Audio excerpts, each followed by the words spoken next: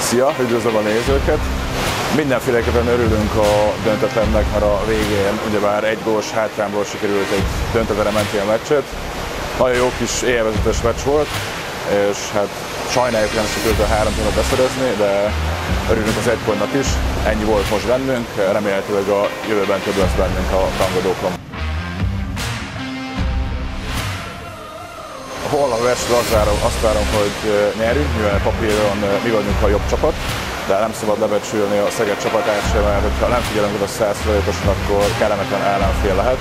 De bizonyították ezt a pont a ellen is, tehát mindenféleképpen oda kell figyelnünk, és 100 os teljesítményt kell nyújtani ahhoz, hogy nyerjük meg a meccset, és sima legyen. Úgymond.